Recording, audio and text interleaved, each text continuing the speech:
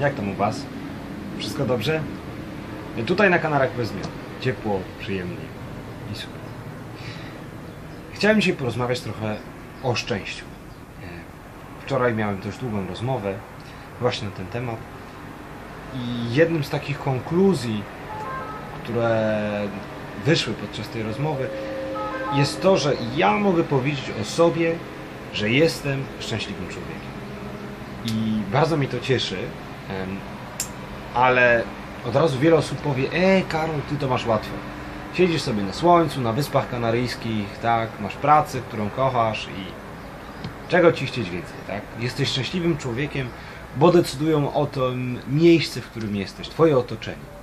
I chciałbym wam powiedzieć, że, że wcale tak nie jest. Że Wyspy Kanaryjskie to absolutnie nie są wyspy szczęśliwe.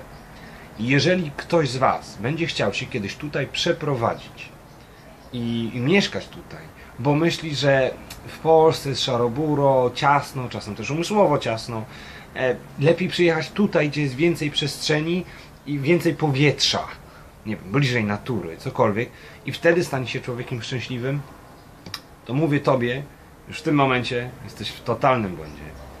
Ponieważ szczęście może wychodzić tylko z wewnątrz, tylko od ciebie. Czynniki zewnętrzne, mieszkanie, w którym mieszkasz, e, otoczenie mogą w tym sprzyjać albo w tym przeszkadzać. Oczywiście e, ciężej być zadowolonym, szczęśliwym człowiekiem mieszkając w betonowej dżungli, niż mając e, z kochaną rodziną chatkę w lesie. E, to sprzyja albo przeszkadza, ale nie determinuje tego, czy będziesz szczęśliwym człowiekiem, czy nie. To szczęście musi wychodzić od ciebie. I pamiętaj, że szczęśliwy wcale nie oznacza zawsze radosny. Szczęśliwy człowiek przeżywa cierpienia, przeżywa bóle, chwile zwątpienia, ale wie, jest optymistyczny w tym, wie, że będzie dobrze.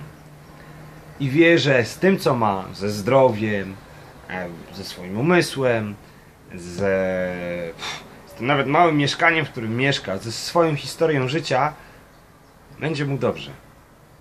I z tą myślą Was zostawiam. Pozdrawiam. Trzymajcie się i subskrybujcie kanał La Vida Loca. Hej!